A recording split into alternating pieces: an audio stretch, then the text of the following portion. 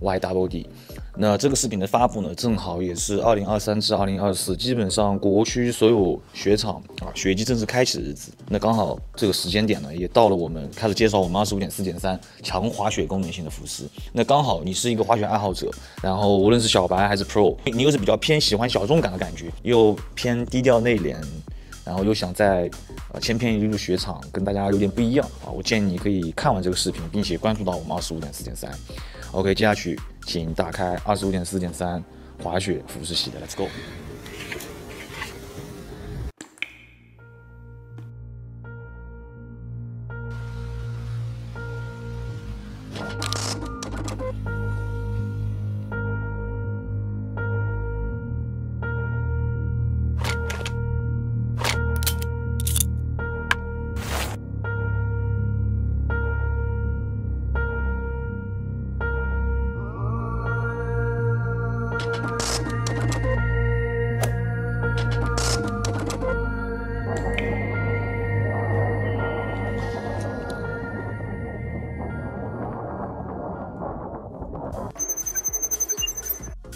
因为，我们为什么把二十五点四点三的雪服定义为强滑雪功能性的服饰呢？其实就是不想仅限于定义它为一套雪服，因为我们更希望以生活方式的形式啊，去让这个套系应用到你们生活当中全部的场景，不仅限于滑雪这个场景。因此，这个套系其实就完全考虑到了出街以及滑雪场景的应用。但讲到功能性啊，我们丝毫也完全没有在怕。所以，我们先来报告一下关于二十五点四点三强化雪功能性这个套系的功能性的。解析，Let's go。首先，先给大家报告一下大家最关心的指标。在经过我们长期的筛选和测试之后呢，我们最终选择到了啊，以三 L 这种面料的形式，给大家做到了全压胶的啊一万加的防水，啊两万加的透气，以及一万加的透湿的这么一个性能的整体，并且面料给到了鲁道夫三防整理剂，富有抗泼水、抗油、抗污的功能性。那在这里，我们也可以插入啊，我们买了一个简单的仪器。欢迎来到二十五点四点三 Laboratory 啊！今天我们来测试一下关于我们这次雪服的面料功能性的测试。总共会分为两个部分，第一个部分就是关于它透气跟防水，然后第二部分是所谓的三防：防油、防污，还有什么？是什么？防防泼水。对。然后，因为我们买了一个小仪器，你说不是？我们也不是防泼水，我们他妈就是防水。对，就没有它防泼水，就是你任何水泼上去都不会说是。那人家会觉得我们只是防轻泼水，你要就说防水。但是啊，防水，你他娘的还真是个天才。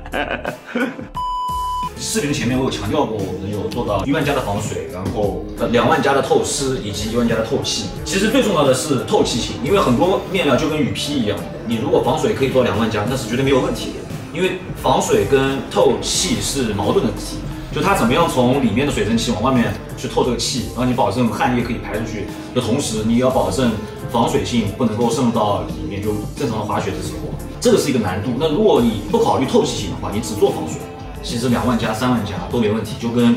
我们的雨披一样，滑雪穿穿雨披就 OK。所以说今天这个小仪器就是来验证它在防水的同时，然后给大家做到透气。我们不可能说。很专业到一个很强的一个水压去往这个面料上去喷，但我们可能就尽量的展现一下所谓这次我们三 L 这个面料的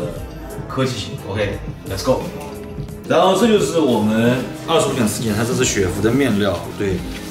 是就大概可以看到这个质感啊。然后我们就用这一片，啊，这些都是一样的。我们是拿来看胶印，也给大家看一下我们最初样的胶印。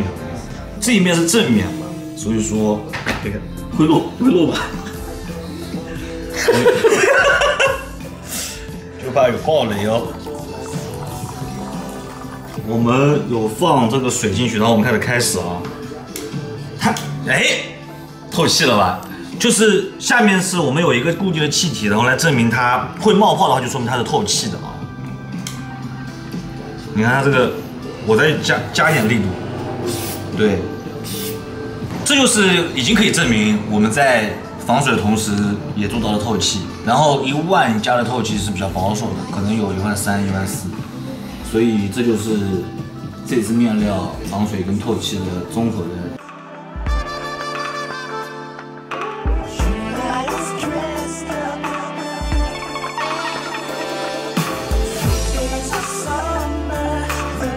然后第二部分就是关于这个面料的这个防油防污，因为在滑雪运动当中，其实你在路上会经常，因为我在我们的宣传片其实也有拍，就是我在滚的那个泥土上面滚，其实不是为了拍宣传，就是想证明它的灰尘是可以，因为我们做了鲁道夫三房，我觉得这个太，它这个是一个试剂，给大家做到了一层防泼水、防油、防污的这种功能。今天在这边呢，我们也简单的展示一下，我们有给到咖啡，然后水果汁和可乐，就常规最容易染上污渍的三个饮料，然后我们分别把它倒上去看。OK，Let's go，开始，你拍了吗？在拍啊，我一直没断。这是可乐，它亮度有点不够。你这个后期你你 ISO 往上面调，这是果汁，我不想我不想倒到倒到桌上，然后这是咖啡，然后它同时也可以保证油渍的那个，但我们这边就不浪费油了，就不想买油，也没什么意义。对，这就是给大家做给做到了一个这么一个综合性的一个性能，就这个是百分之一百可以保证的。呃，还重在重新来说，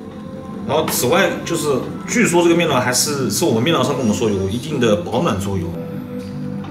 你看，一直可以飞在那里。由于是三 L 的面料会比二 L 的面料多做一层，因此面料会有可能会有那种不适应的硬，有点像始祖鸟的硬壳一样。因为你在滑雪的运动当中，其实衣服还是要相对来说比较柔软的，所以我们在筛选之后，三 L 的面料里面相对比较偏柔软的那一种质地的那种面料啊，去进行研发跟开发。至于裁片方面，我们基本上给到了所有滑雪场景应用当中，我们能够想象到所有的应用全部都已经把它到位了。比如说雪卡，然后包括腋下的拉链，然后扣子这边也有做到拉链，包括透气的一些功能。其实作为我来说，我认为雪服在挑选的时候最重要的，尤其对于前期的小白来说，其实最重要的还是一个功能性。因为其实真正的大神，除非你去滑一些比较啊野雪啊这种，可能需要考虑一些滑雪那个服的功能性，但其实对于功能性的需求最高的其实是小白。所以我本人呢也在亲测了一波，我可以在这边做一个很强烈的担保，就是从防水性到透气性到耐操性啊，我觉得是绝对没有任何问题的。我这边也可以贴上我所有摔跤的视频给大家看一下。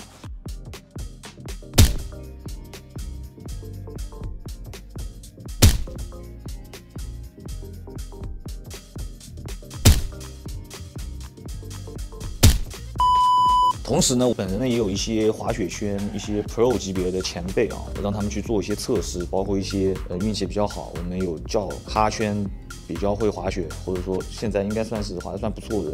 KC 老师啊，亲自帮我们去测试一下，所有给到的反馈都算是比较正面的。我们还是很有自信说，从面料这个角度，以我们的能力做到了极致，并且整个做工到走线也是做的，我个人来说是非常非常的满意。然后跟一些竞品的学服来比的话，哦，OK，我觉得还是算有一定的这个竞争力的。然后对于面料的检测报告，我也会贴上来啊，或者说贴在这个视频的评论区，大家有兴趣的话也可以去看一下。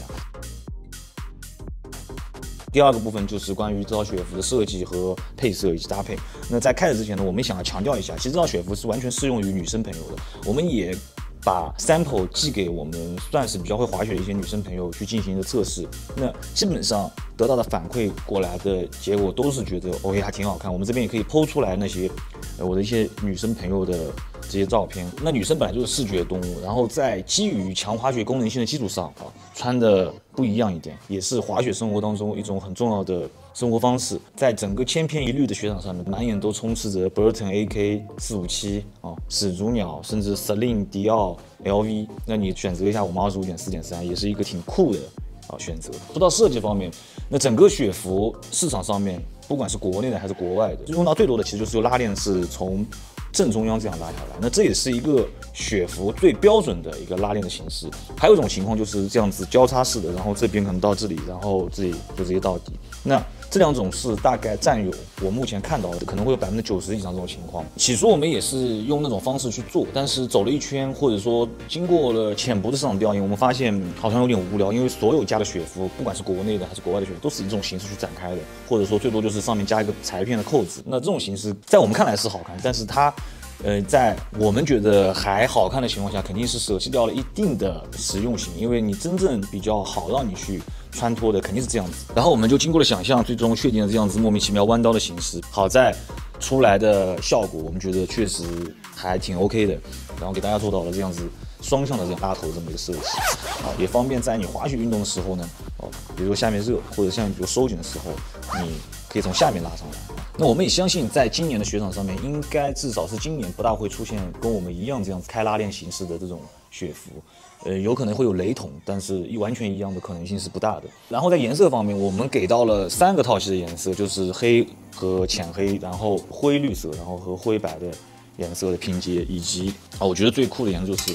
这样子的一个拼色。那最早的时候，我刚才也说过，我们想做的就是像蓝和灰白的这么一个配色，但最终我还是把这个方案给否掉了，因为确实可能第一次做，我们尽量的可能用保守色去呈现，所以我们给到了这三个颜色。不瞒大家说，其实我们的绿和灰白的这个配色，基本上现在在某有些尺码已经快断码了，因为我们在很早的时候已经给朋友做过一些发售，已经被消化完了，这也是完全出乎我意料之外的，因为。我本来是以为这两个配色是最容易被大家所接受的，甚至也有朋友跟我们说，我身上这个颜色也很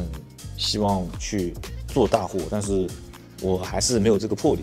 去一下子走很多，因为像这种雪服，确实它可能需要一个比较大的量啊，你才能够跟工厂做一个比较好的协调，因为它确实不是说难做，是真的很麻烦，尤其是江浙的工厂是不愿意去承接这种雪服的开发的。因为它确实涉及到的工艺会比较的不一样，但是呢，这样子保守的搭配呢，比如说黑黑和灰灰，包括这个绿和白灰色的配色呢，相对来说比较是。哦，谢，哦哦哦哦，差一点。那我觉得像这种比较相对比较保守的配色呢，也更加适合于日常通勤的一些场景去使用，也更加容易和你的裤款跟鞋款做一个比较好的搭配。包括我们的雪裤，实际上这个裤型是完全不是基于雪裤的裤型去做的，我们就是希望可以给到日常搭配的这个功能性。那有些朋友可能会说，哎，这上面有雪裙，其实大家可以试想一下，如果你是在比较寒冷的秋冬，可能这个看似比较麻烦的雪裙。反而给到了一个比较方便的作用，就是你可以把你内里的衣服在冬季的时候塞进去，这样也不会出现肚子漏风的这种情况。这反而是一个很好的功能性，包括它内里也做到一个双层啊，这完全不会在冬季影响到你正常的使用。那夏季，说实话，大家也只能穿短裤去穿。然后这个裤型适配到的所有的鞋款，在滑雪场上面的造型，我们也会给贴出来。日常的这个穿搭的形式，我也会在视频的最后面做一个大概的一个案例啊。那最后呢？我们也感谢所有在这一波二十五点四点三二三至二四的这一波的产品，所有帮助到我们的朋友啊。然后我们也有很多线下的实体店铺啊 stockis 给到，然后包括一些雪具店和一些买手店，我们也会贴在这个视频的这个地方啊。如果有当地的朋友，也可以去店里面去看一下。然后目前呢，我们现在正在赶紧的准备二三至二四 Drop Two，然后在年前给到一个 Happy Ending，也希望大家可以。随时的来骚扰到我们，我们也二十四小时等候大家的骚扰。好，感谢收看，拜，peace out。